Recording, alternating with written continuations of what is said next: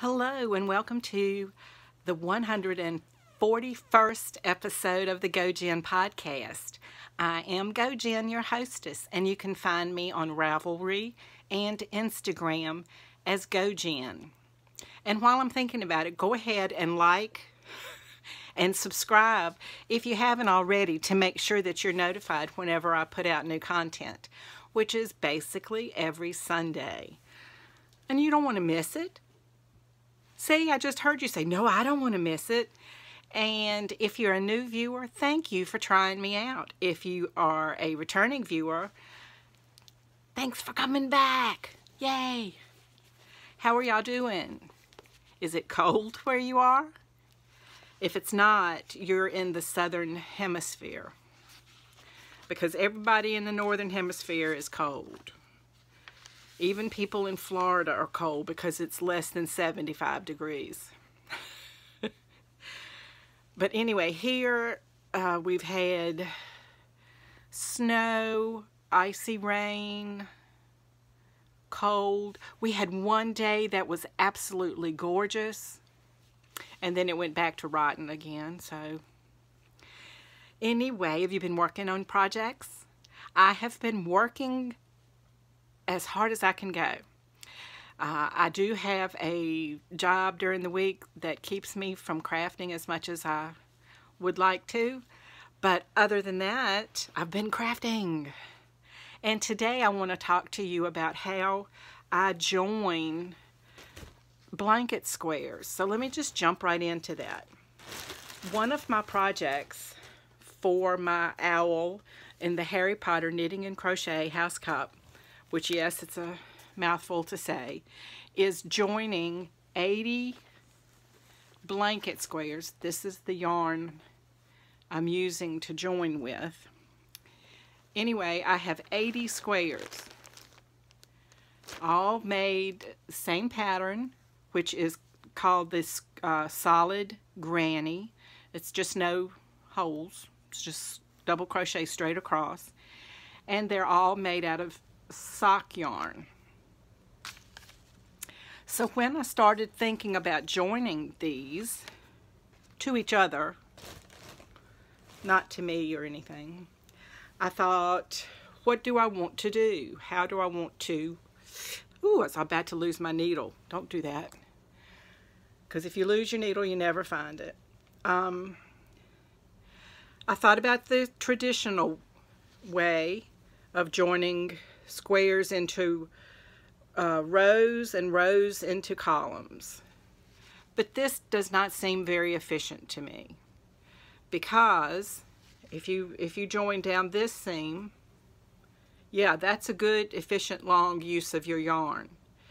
But then you've got short row, another short row, another short row. And so you're having to cut your yarn, weave in that end, both ends, beginning and end of your row.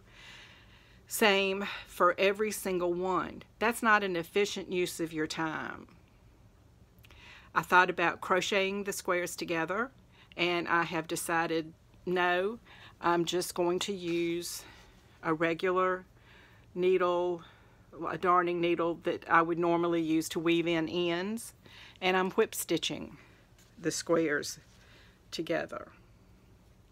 And where I can, I'm leaving a long tail that will be crocheted over when I either join these to other squares or put the uh, border on, go around with a border. So I thought and I thought and I thought and I thought of what would be an efficient way to join these squares. And here you go. This is my best way. Start in a corner. So this is my corner square. And then I joined this red square and I joined this autumn color square. And I had three squares joined.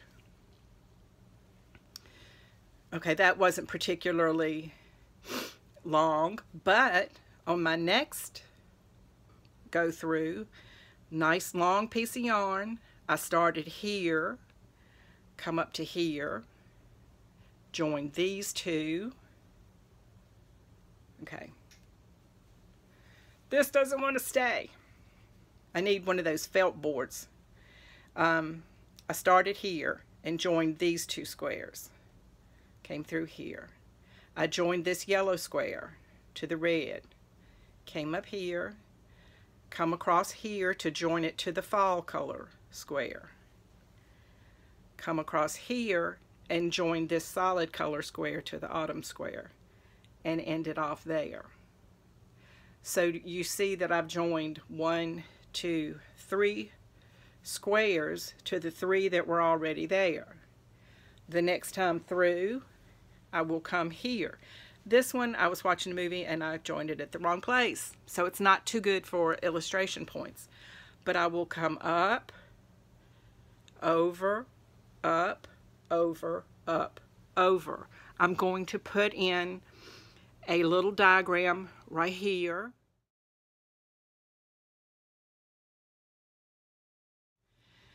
that will hopefully let you see it's a diagonal line up and it joins new squares and it seams the other squares together maybe on a side they weren't already I like this I can put a long piece of yarn on the needle and just go um,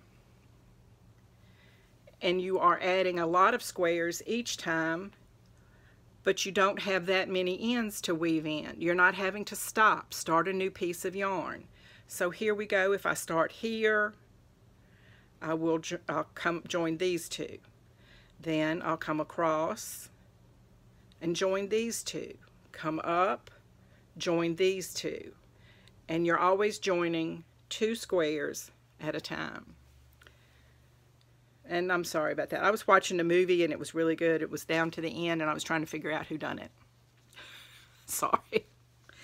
But that to me is a um, very efficient way of using my time, my yarn, and 80 sock yarn squares. They're everywhere. I enjoyed making all those squares, but I really, you know, joining things together is the least, what is this? I have a, oh. so apparently I left that yarn tail on. But they all just have to be joined together and it is tedious, it is time consuming, but uh, at the end I will have a nice big blanket to uh, enjoy. So, yay. That is my first owl project I wanted to tell you about. I wanted to also show you my granny squares. I'm making a granny square blanket as well as part of my owl. I have 15 jumbo squares. They're about a foot across. So they're like 12 inches by 12 inches. And to add interest, I am going to have five squares that I'm going to just um, put at different spots. I don't want them touching um, throughout the blanket. That will add uh, visual interest. So instead of a blanket of big solid granny squares, then scattered throughout I will have four quarter squares. That makes me happy. This project is going to wait and be last because it is fast and easy to do. I think I will crochet this one together. I doubt that I'll whip stitch it because I can crochet um, in the same pattern as the granny squares, three double crochets in each loop and join it to this other square on the on the other side like this. you just come down here with and join them on alternating stitches to be it's like a strip of granny square treble crochet double crochet excuse me um, in between the squares. And so that makes me happy. But like I say that will be last um, because I it's going to be time the most time consuming to finish this blanket and then it's going to be time consuming to finish my socks. And because I am bistitchual and I knit and crochet these are my knit socks I am doing an afterthought heel do you see that stripe of pink in there? That's where the heel will go. I have about an 8 inch cuff because these are for my sister and um, um, that's just what I did. Um, and my uh, tension was off right here. You can see that it kind of sinks in a little bit. That's because when I first started back knitting on these, these haven't been worked on since last March, I think. But at any rate, um, my tension was tighter and I've had to consciously make myself loosen up. I'm using double pointed needles. I'm not going to take them out because you know what double pointed needles look like. And so I'm going to, this is where the heel will be, if you will. It's going to be like that. And this is the foot. And so I've got um, about eight inches of foot to do. Then I will go back and put the heel in. That's the plan anyway. I've got a pattern and I think I can do it. And then I'll have to make the other sock. Um, I have figured out how much I have to do to finish my owl project by the end of March. The sock socks need three inches worked every week to get to the finish line. And this is right about three inches worth of sock. So three more inches and I should be to the toe. And I plan on doing the toes and heel out of black sock yarn. That's my plan. So, that's my knitting. And I have to, like I said, I have to do three inches of sock every week. I think I figured I needed to work to join at least 10 squares together and that would get me the entire 80 joined so then I can excuse me bless me I had to sneeze um, that would give me the 80 joined and then time to do two borders even if they're just simple single crochet borders or might do a scallop or something very simple um, so that can be done. The sock, I need to finish the first sock by the end of February because that's part of my 50% goal. Okay, so let me see. Oh, my other project that I always forget is my crochet project, the Virus Shawl, which is just a very simple but beautiful pattern. I'm knitting, not knitting, I'm crocheting this out of some Knit Picks uh, Hawthorne fingering weight. And this is the colorway Turkish Delight.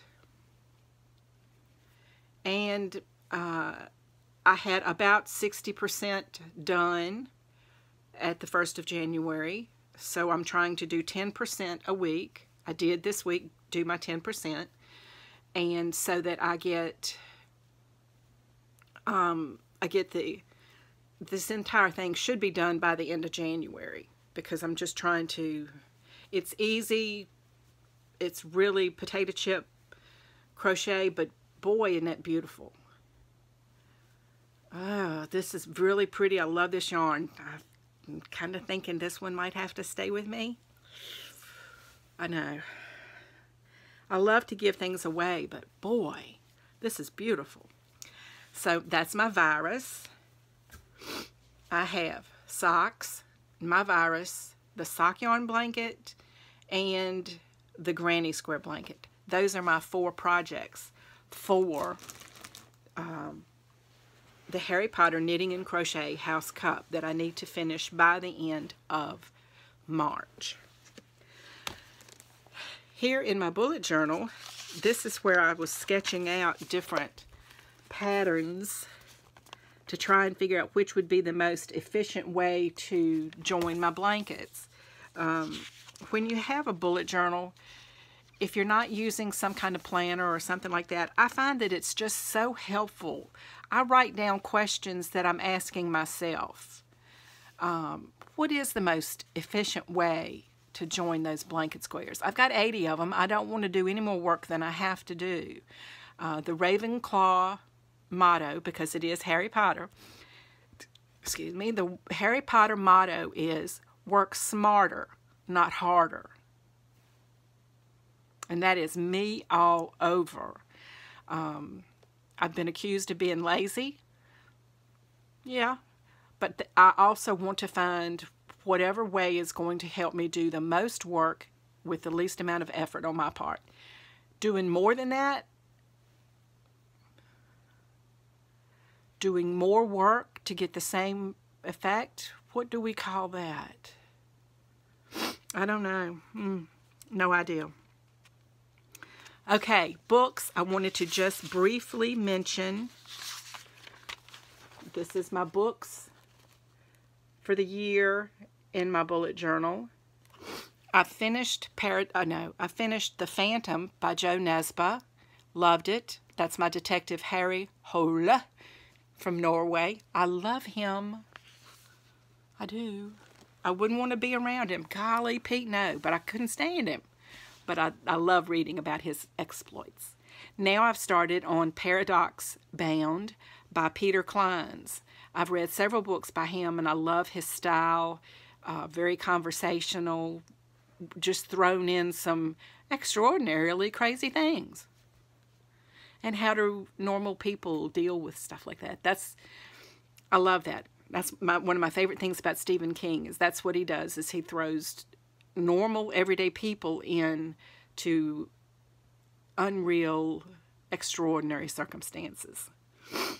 I'm also reading a Kindle book called IQ and the author's name is Joe Ide, I-D-E. I don't know if it's Ide or Ide. I finished the book Before You Leap by Kenneth Houghton. I think that was one of the Kindle First books uh, where you get a free book with Kindle Prime every month. Um, wasn't anything special. It was just a little bit of a thriller, murder mystery, crazy book, crazy pants book. It was okay. I enjoyed it. A good solid B. Mm -hmm. But I'm loving IQ. Uh, it's like Sherlock Holmes in the hood. And uh, I, I just, I love following the thought processes of someone, even fictional characters, only fictional characters, who can really figure things out. So I am enjoying that. So if you are a new viewer, thank you for coming by. I appreciate you taking the time out of your day. I hope that you will subscribe, hit the little bell, and you will get an email reminder that uh, whenever I put out new content. If you're a returning viewer, thank you. I appreciate you coming back week after week uh, just to see what's up with me. And I, I just do appreciate that. I hope you're a subscriber. If not, everybody needs to like, thumbs up, and subscribe right down below. And until I see you next week and we have more exploits from the owl, I wish you nothing but love and laughter.